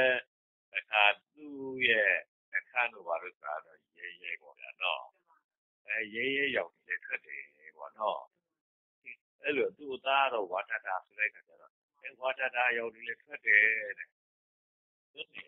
အဲ့ဒီရောင်မျိုးကတော့ခင်ဗျားတို့လည်းထွက်ကျွတ်တို့လည်းထွက်တာပဲနော်အဲကျွတ်တို့သွားလည်းဖြူတာပဲကျွတ်တို့မျက်ဖြူကလည်းဖြူတာပဲဟုတ်လားနော်ကျွတ်တို့မျက်နှာကလည်းနေတာပဲမျက်ခုကလည်းနေတာပဲဆိုရလည်းနေတာပဲဟုတ်တယ်လားနော်ဒီရောင်ထွက်လို့ကျွတ်တို့တွေကနေပြီးတော့လူတယောက်ကလူတယောက်မြင်တာပေါ့နော် ဒီရောင်မရှိရင်မြင်ပါမလားဗျာဒီအဲ့ဒါမျိုးရောက်ချီတော့လုပ်တယ်ဆိုတော့ဟုတ်ကြပြီပြောပါလားနော်အဲ့ဒါဆိုရင်တော့တစ်ပင်တွေကလည်းရောက်ထွက်တာပဲဗျာနော်သိသိရှိတဲ့တစ်ပင်ကလည်းအသေးရောင်ကျွတ်တို့မမြင်ရဘူးလားဗျာအဲ့ဒီအသေးရောင်ရှိလို့ဒီအသေးရောင်ကျွတ်တို့ဒီပြေးလာလို့မျက်စိရဲ့ဝဲလာလို့လားကျွတ်တို့ကဒီတစ်ပင်ကိုမြင်တာမဟုတ်လားဗျာအဲသူ့ကြီးကအသေးမရှိပဲနဲ့ကျွတ်တို့မျက်စိနဲ့အသေးရောင်မြင်လို့ရပါမလားဗျာ တစ်ပင်လည်းရောက်ချီတော့တွတ်တာပဲဗျာနော်အဲ့တော့သူ့နားလိုက်ကြတာလို့ဘုရားသိကိုဘုရားဖြစ်ပါတော့ဘုရားရဲ့ရောက်ချီတော့ဆိုတာဒီလိုရောက်ချီရမှာမဟုတ်တာနော်တကယ်တော့မဂ္ဂင်ရှိချက်ရဲ့ဆက်တဲ့ရောက်ချီတော့ဖြစ်ရမှာမဟုတ်လားဗျာအဲတကယ်လို့သာမဂ္ဂင်ရှိချက်ကိုတွားနေကျင့်သုံးပြီးလို့ဆိုတော့အဲ့ဒီရောက်ကတော့ဂုံကြောင်လို့ခေါ်တာပေါ့နော်အဲဂုံကြောင်ဆိုတာသူကျင့်ကျင့်တဲ့ခြေကူကနေပြီးတော့ထွက်တယ်ခတ်ပေါ့နော် အဲအဲ့လိုမျိုးလို့ဖြစ်တဲ့အတွက်မြတ်စွာဘုရားကိုကျွတ်တော့သိရမှာကဟောမြတ်စွာဘုရားဆိုတာဟာဘယ်လိုဟာလဲလို့ဆိုချင်ဘုရားတော့တရားရဲ့ဂုံပေါ့ဗျာနော်တရားရဲ့တရားဘာတွေလို့ဆိုရင်တော့သူမြင်တာတွေတွေးတာတွေအလဲလမ်းကြကြသမာတဲ့အမြင်အတွေးအပြောအလုပ်အနေတူတာလိုကြအဲသိထားလို့ဆိုတဲ့ဟာတွေကတော့ဒါတရားတွေပေါ့လားဗျာနော်အဲ့ဒီတရားကနေရောက်ခဲ့ဟုတ်နော်အဲ ကျုပ်တို့က ချင်းကပ်တာကလည်းပဲ အဲ့ဒီတရားရဲ့အယောင်ကို မြင်ပြီးတကလားဟုတ်တော့ကြည်ပြီးတကလား မလီ အဲ့ဒီအယောင်မျိုးထူးရကျင်လိုက်တာ သမားတဲ့အမြင်မျိုးတို့မြင်ကျင်လိုက်တာ အတွေ့လည်းပဲ သမားတဲ့အတွေ့မျိုး အပြောတွေ အလုပ်တွေနေတွေကျူးသားတွေလူကြတွေသိသားတွေလည်းပဲ သမားတဲ့အာအတွေ့တွေအဲပြောတွေ အလုပ်တွေနေတွေကျူးသားတွေလူကြတွေသိသားတွေတို့လည်း ဖြစ်ချင်လိုက်တာ ဒီအရောင်အားကြတာမဟုတ်လားဗျာနော်အဲ့ဒါမြတ်စွာဘုရားရဲ့ဒီအရောင်ဆိုတာကတော့ဗုဒ္ဓဘာသာဆိုတာမြတ်စွာဘုရားရဲ့အရောင်ပဲနော်မြတ်စွာဘုရားရဲ့အရောင်ဆိုတာလည်းပဲခုနကပြောသလိုပဲအာမန်အချင်းအတားမှန်ရတာမဟုတ်ဘူးနော်အဲမြင်သူမြင်ပုံရဲ့အရောင်အဲသူတွေးပုံရဲ့အရောင်သူကျူးသားသူပြောဆိုပြုလုပ်နေထိုင်ကျူးသားနှုတ်ကြစိတ်ထားရဲ့အရောင် အဲ့ဒါကိုဘိဓိမပฏิပဒါရဲ့အရောင်ပေါ့ဗျာသာမာရဲ့အရောင်ကြီးပေါ့ဗျာနော်အဲ့ဒီအရောင်ကိုကျုပ်တို့ကနေပြီးတော့မြင်ရမှာပေါ့လားတကယ်တော့ကျုပ်တို့ဘုရားကိုကျူးဝေကြတဲ့သူတွေကအဲ့ဒီအရောင်ကိုမြင်လို့ရှိလားရှိပါဘူးဗျာလူဆိုရင်သူတို့ဘုရားကိုမြင်သလားရှိပါဘူးဗျာရွှေကိုဘုရားသွားပြီးတော့ခြေကိုရွှေကြီးမြင်ပါပဲနော်ရှိပါဗျာရွှေဗျာအဲရွှေကိုဘုရားဆိုတာဟာရွှေတွေရှိခိုးရတဲ့ဟာမဟုတ်တာပဲဗျာနော် အဲအဲ့ဒါကိုရွှေအများကြီးချထားတဲ့ဘုရားသိတတိဘုရားဟုတ်တယ်လားနော်ဒါဆိုရင်တတိရတော့ဒီကာမလားဘေကတလားအဲဝိသုဘပฏิပဒါလားဆိုတော့သိချချဘူးလားသိရတာဗျာကာမပဲဗျာနော်ဘုရားကိုမြင်တာကာမနဲ့မြင်တာလို့ပြောပါဘောနော်ဘုရားကာမလမ်းနဲ့သွားနေတဲ့ပုဂ္ဂိုလ်ဟုတ်ကဲ့လားဟုတ်ပါဘူးဗျာကာမလန်းနဲ့သွားနေတဲ့လူပုံပဲနဲ့ဘုရားကိုကာမလန်းနဲ့မြင်တယ်လို့ဆိုတော့ဘု ရားမြင်တာဟုတ်ပြီးတော့လားဟုတ်ပါဘူးဗျာကဲဒါလို့ဆိုရင်အဲ့ဒီဘုရားကိုရှိခိုးပြီးတကယ်ဘုရားရှိခိုးတာဟုတ်ရဲ့လားဟုတ်ပါဘူးဗျာအဲ့ဒီဘုရားကိုဖတ်တော်ကပ်ပြီးတကယ်ဘုရားကိုသုတော်ကပ်တာဟုတ်ရဲ့လားဟုတ်ပါဘူးဗျာအဲဖတ်တော်တွေရည်ချမ်းတော်တွေကပ်ပြီးဘုရားကိုမြင်ပြီးကပ်တာဟုတ်ရဲ့လားဟုတ်ပါဘူးဗျာဘာဖြစ်လို့လဲဆိုတော့ဘုရားကဗေလန်းသွားတာလေဒီလာရဟောလေလန်းသွားတာသူတို့ကမြင်တာဘုရားကိုဗေလန်းမြင်ဗေလန်းနေမြင်လို့အောက်လန်းနေမြင်လို့မြင်ထက်လန်းနေမြင်လို့မြင်ပေါ့ နော်ကဲဒီလိုဆိုရင်ဒုဗုဒ္ဓဘာသာဝင်တွေကတရားကိုမြင်တဲ့သူကအဲဗုဒ္ဓရဲ့အလင်းရောင်ကိုမြင်တဲ့သူကအဲ့ဒီအလင်းရောင်ကိုအားကြပါဘုရားဟုတ်ပါဘူးဗျာအဲခုတော့ဗုဒ္ဓရဲ့အလင်းရောင်ကိုသူတို့မမြင်ဘူးလေမမြင်တဲ့အခါကျဗုဒ္ဓကိုအားကြပါမလားဗျာကြာပါဘူးဗျာကြောက်လို့ဆိုတဲ့အခါကျသူတို့ကိုအဲ့လိုမမြင်တဲ့သူကလည်းပဲတစ်ခါထပ်ပြီးတော့သူတို့ကိုဗုဒ္ဓကိုမြင်အောင်ပြောသွားတယ်ဗျာနော်မြင်အောင်ပြောသွားတာကတော့အာဘုရား အမှန်ကိုတပ်ပြေတာဟုတ်တော့တခါနှခမ်းလေးလည်းနီးလို့ဟုတ်တာသွားလေးလည်းဖွေးလို့ဟုတ်တော့အဲတခါလည်းဘုရားရဲ့အလှတွေပေါ့ဗျာနော်အဲကျုပ်တို့တခါရံသွားနေပြီးတော့ဘောတော်ကတည်းကနေပြန်လာတယ်အဲ့ဒီဘောတော်ကဘလူကားတော့တော့ကြာပေါ့ရဲ့ကားပေါ့ဗျာနော်ဟုတ်တော့ကုမောက်တယ်အဲဒုက္ခမောက်ရဲ့ကားနဲ့ဒုက္ခမောက်ကအဲ့လိုပဲသူဘုရားဖူးတာတွေအကြောင်းပြောတာပေါ့ဗျာသူကဘုရားဆိုရင်လှတယ်ဘုရားပါ လှတယ်ဘုရားဘူးကကိုသူသိတယ်ကြည်နူးညာပဲလို့ပြောရတာနော်ဒီလိုကတော့လှမလှလည်းမသိဘူးဗျာနော်ဘုရားလှတယ်ဆိုတာလည်းမသိပါဘူးဘုရားသာလှမလှမသိရလားလို့ပြောလူလည်းပဲလှမလှမသိဘူးဗျာဒီလားဘုရားလှတယ်ဆိုတာလေဘုရားမလှဘူးဆိုတာလေအော်တိုမက်တစ်သိရပဲတော့သိတာပေါ့ဗျာကိုကြိုက်တာနဲ့တွေ့ရင်တော့လှတယ်ပေါ့ဗျာနော်အဲကိုနဲ့မကြိုက်လောက်တဲ့အနေထားရှိတဲ့ဟာတွေ့ရင်တော့လည်းမလှဘူးလို့ပဲလှတာလည်းမမြင်ပါဘူးဗျာဟုတ်တယ်လား တကယ်တော့လှတာလည်းအမြင်ခက်တယ်ဗျာဒီလားအမြင်ခက်တယ်လို့ဆိုတာကလှတာကိုမြင်တာလည်းမျက်စိကမြင်တာမဟုတ်ဘူးဗျာဒီလားဥစ္စာထဲမှာဆော်ဝဲသွင်းတာရှိတယ်ဗျာနော်အဲ့ဒီဆော်ဝဲကနေပြီးတော့လှတယ်လို့မြင်တာဗျာမလှဘူးလို့မြင်တာလည်းအဲ့ဒီဆော်ဝဲကနေမြင်တာဗျာနော်သူတို့လည်းအဲ့ဒီဆော်ဝဲကဟုတ်ဒီဘက်တည်းကလည်းမသွင်းရဘူးဗျာနော်ဒီအလှလိုက်စားရတဲ့ဆော်ဝဲပေါ့ဗျာသူသွင်းရတော့အလှနဲ့တဲမသိဘူးရနော် ကိုယ်ကောင်းအောင်လုပ်ပေးတဲ့သူတွေတော့လည်းကိုယ်လည်းကြိုက်နေတတ်တာပေါ့နော်ကြိုက်နေတတ်တဲ့သူတော့အဲ့လိုအနေထားလေးရှိတော့လေလှတယ်လို့တော့မှတ်တာပေါ့ဗျာဟောတော်ဝဲလည်းအဲ့လိုတော့ဝင်နေတာပေါ့ဗျာနော်အဲ့လိုဆိုတော့ကျေးဇူးဆိုရင်လူတော်လှမလှဆိုတာမသိဘူးဟုတ်နော်နောက်တိတိကျကျအဲဒီတရားဓမ္မသိပြီးတွေ့လိုက်တဲ့အခါကျတော့ဩလှတယ်ဆိုတာလှုပ်ရှားမှုဆိုတာအဲ့လိုနော်လှုပ်ရှားမှုလှတယ် ကဲဆိုကြပါစို့သိလှပါတယ်ဆိုတဲ့လူသိပြီးထားလိုက်ပါလှသေးရလားဒီဒီတော့ဒီလှတော့နော်ဒီတော့ကြီးဖြစ်သွားပြီဆိုရင်တော့မလှတော့ဘူးဗျာနော်ရှင်တော့ကလေးကကြိုက်နေတာဆိုရင်တော့လေလှတယ်လို့တော့ထင်တော့ထေအောင်ပါပါဗျာသူရှင်တော့ဟာကိုပြန်တွေးပြီးတော့ပဲအဲကြိုက်နေတာနော်တကယ်တိုင်းကတော့သိပြီးဆိုရင်တော့ဘာမှမရှင်းတာတော့ပဲသူမျက်စိကလည်းမလှုပ်တော့ဘူးဟုတ်တော့လားသူငကားလည်းမလှုပ်တော့ဘူးသူမျက်နှာအနေထားလည်းပဲမလှုပ်တော့ဘူး သူ့ရဲ့ကိုယ်လက်ဟန်ပါနေရလဲဘာမှမလုပ်တော့ဘူးဆိုတဲ့အခါကျတော့အမှန်တော့ကာမကာမဆိုတာလှုပ်ရှားချက်တွေခေါ်တာဗျာနော်လှုပ်ရှားချက်မရှိတော့ဒါဒါမှမဟုတ်ဘူးဥပမာတူရွှေလေးကမလှုပ်ပါဘူးလို့ပြောစရာတော့ရှိတာပေါ့နော်လှုပ်တယ်ဗျာနော်အာဒီကောင်ကဘလောက်တန်တယ်ဟောဘလောက်ပို့တန်တယ်ဟုတ်တယ်လားနော်အဲပရမညာတို့ကြောက်သိန်းတွေဆိုတာအဲသူလည်းချတာလှုပ်လာဗျာမလှုပ်ဘူးလို့မချတာကြည့်ပါလားနော် နေလေးကသူ့ပေါ်ရောင်လက်လိုက်တယ်သူကနေပြီးတော့ဘူးထွက်လိုက်ကြီးထွက်လိုက်ဘူးထွက်လိုက်ဒီထွက်လိုက်တယ်သူမလှုပ်ဘူးလားအဲကြောက်ကဘိုးတန်တယ်ဆိုတာလှုပ်တန်တာကတော့ဒီကြောက်ခဲကဘယ်လိုလှုပ်လို့လဲလို့ပြောချင်တာကြည့်တာပေါ့နော်ဒါပေမဲ့လို့လည်းပဲကြောက်ခဲကိုသွားပြီးရိုက်ခတ်ရတဲ့ဟောအလေးအောင်ကလှုပ်တာဗျာနော်ကျိုးတော့ထွက်ဒါဒီဟိုဝတ်သားကျော်တော့ဘိုးပေါက်ကြပါနေတော့ အဲဦးစင်းအဲလူတယောက်ကနေပြီးတော့အဲသူတင်းစီချန်ကလူတွေနဲ့သိတယ်တဲ့တင်းစီပဲတောင်းလာခဲ့မယ်တဲ့ကြောင်းဆက်ပြီးဒီတောင်းလာခဲ့တာမှာတင်းစီပဲ20လောက်လား40လောက်လားတောင်းလာပါဗျတောင်းလာတော့ကြုံကြောင်းကလည်းရောက်ရှိတဲ့နေရာရောက်အောင်အဝင်ကနေသူအတက်ကြီးကြအဲ့ဒီအတက်ကြီးဆိုတဲ့ကကြ10တောင်လောက်ကျအောင်လမ်းကြီးဖောက်လိုက်တယ်ဒီအဖြစ်ကြီးကိုပေါ့ဗျာ အဲ့ဒီလမ်းရဲ့ဘေးကနေပြီးတော့တင်းစီပဲ ဒီဘက်က10ပြန်လောက်တိုက်အဲဒီဘက်ကလည်း10ပြန်လောက်တိုက်ပေါ့ဗျာအာအဲ့ဒီအရာရဲ့ဒီဒီဟောတာလည်း ကောင်းတာပဲဘာမှသိကြီးကျလို့လည်းပဲပြုစုကြတာ မဟုတ်ဘူးဖြစ်တာဗျနေစီပဲနေရနော် နောက်ဆုံးကနေစီပင်လေးတစ်ပင်က အောင်စုနေစီပင်လေးက မဖြစ်ဘူး မဖြစ်ပေမဲ့သူကလည်း ပွင့်လာတယ်ပဲပွင့်လာတော့ သူ့နေစီပွင့်ကြည့်လိုက်တဲ့အခါကျတော့နေစီပွင့်ကရက်နေတာလှုပ်နေတာဗျ လှုပ်နေတယ်ဆိုတာဘယ်လိုလှုပ်လို့ဆိုတော့နေစီပင်ရဲ့ပွင့်ရဲ့ပွင့်ချက်ကလေးရဲ့အကြောင်းအားလေ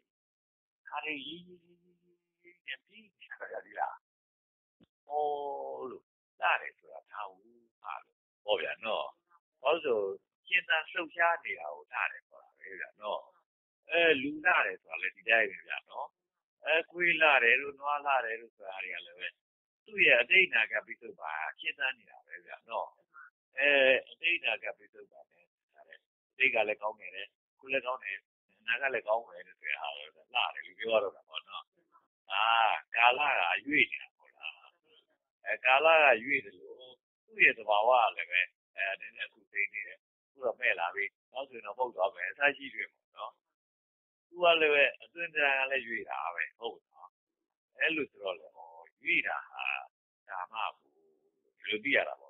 ဗျာနော်အဲ ရွေ့တာရဲ့အချိုးကျလွန်းနေတဲ့အရာကိုတတ်ပါတယ်လို့ပြောရတာပေါ့ဗျာအချိုးမကျနေတဲ့ဟာဆိုတော့မလားပါဘူးလို့ပြောရတာပေါ့နော်ဒီလိုလည်းစကားပြေထွက်သွားပြီဆိုတော့လည်းပြန်တော့မသွင်းတတ်တော့ဘူးပြောကြတယ်နော်ကဲအတွင်းပဲပြန်ဝင်လိုက်ကြအောင်ဆိုသူတို့ကတော့ရင်ကျွတ်တို့ဘုရားဘုရားကတကယ်ဆိုတော့သူဟာမိသိမပฏิပဒါလို့ဆိုတော့တမ္မာတရားနဲ့ကြီးတဲ့ညီရောတွေးရောပြောရောလုပ်ရောနေရောသူသားတို့ကြစိတ်ထားတွေလုပ်ပြီးလို့ဆိုတဲ့အခါကျတော့သူ့ရဲ့အနေထားကဘယ်လိုရှိမလဲဆိုတာ ကျွတ်တို့ကနေပြီးတော့သူ့အလင်းတွေကိုကျွတ်တို့ကနေပြီးတော့မြင်ရတာပေါ့နော်အဲ့လိုမြင်ရတဲ့အခါကျတော့ဘုရားကိုမြင်တာလို့ပြောကြတယ်ဒီနာမတရားရှိချက်များမသိဘူးလို့ဆိုလို့ရှိရဲ့ဘုရားကိုသိလို့ဖြစ်ပါမလားဖြစ်ပါဘူးဗျာဘုရားသိလို့ဖြစ်ဘူးဘုရားမသိတဲ့သူတွေကနေပြီးတော့ဘုရားကိုမြင်ကြည့်ကြမယ်ဗျာတွေးကြည့်ကြမယ်ဗျာမှန်အောင်တွေးနေမှမြင်နေပါမလား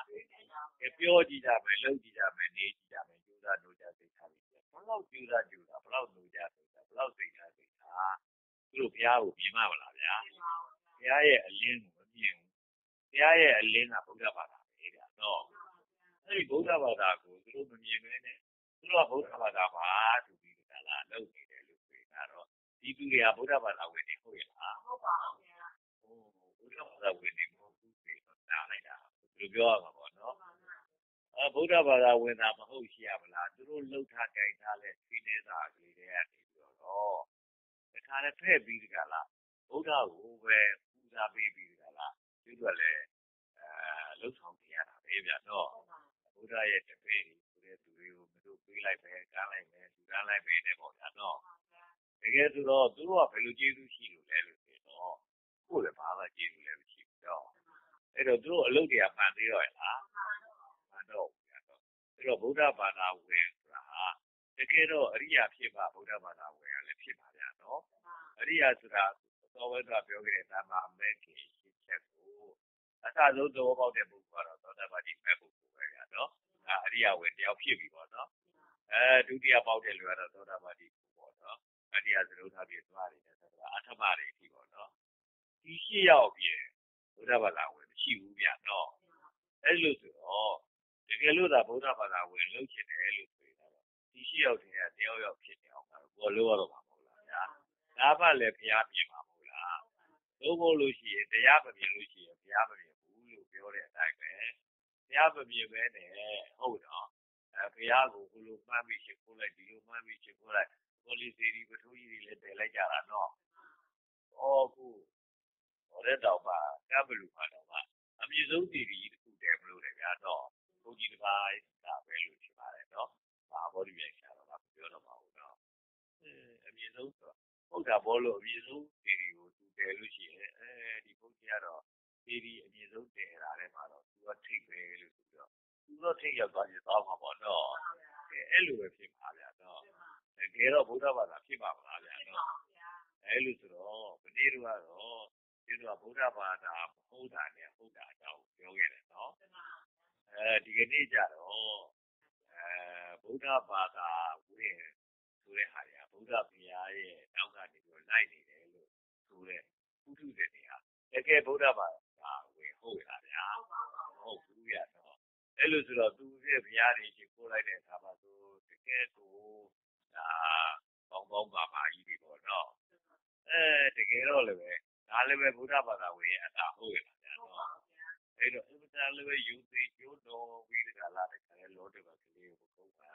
အဲဆိုရဲနိုင်ပြီးတော့တင်ပြီးတော့ပေါ့ဗျာနော်အဝဒကိုနှုံနှုံကလေးရှောက်ရှားချက်ကလေးနဲ့ပြီးတယ်အဲ့ဒါကိုဗုဒ္ဓဘာသာဝင်ဟုတ်လို့လားဗျာကဲဒါလို့ဆိုရင်တော့ဒီကနေ့တော့ဖြင့်ဒါဗုဒ္ဓဘာသာကိုသိကြကြတဲ့လူတွေရဲ့သိကတာသိကြရမယ်သူတို့ပြဗုဒ္ဓဘာသာတရားဖြစ်တာဘူးလို့ဆိုတဲ့အကြောင်းကိုသိတာဖို့ရအတွက်ပြောလိုက်ရတယ်ဒါပြောကြချက်လို့ပြောကြလို့ပေါ့ဗျာတော့မနေ့ကကျွတ်ကဗုဒ္ဓဘာသာလို့လုံလိုက်ပြီဆိုတဲ့အခါကျ တော့ဟုတ်တယ်လားနော်အဲဗုဒ္ဓဘာသာဝင်ဆိုတဲ့လူတွေကဘယ်လိုဟာတွေတုံးလို့ဆိုတာတွေပြောကြဖြစ်တဲ့အတွက်သာမန်အားဖြင့်တော့ဗုဒ္ဓဘာသာဝင်ဖြစ်ပါမလားဗျာဖြစ်ပါဘူးဗျာကဲဒါလေးပဲကျွန်တော်ပြောလိုက်တယ်လို့မှတ်ပါကြတော့ကဲဒီလောက်နဲ့ပဲဒီပြောဆိုချက်အားလုံးဝါဒနိုင်ရလိမ့်မယ်လို့ဖြစ်ပါတယ်ဝါဒနိုင်ရတယ်ဒီဝါဒရဲ့အထိမ်းအမှဖြစ်တဲ့သုံးချိန်လို့ဓာတုဘောဓာကိုပြီးဒီတရားတွေပါဒီလိုချောအောင်ဗျာအာ God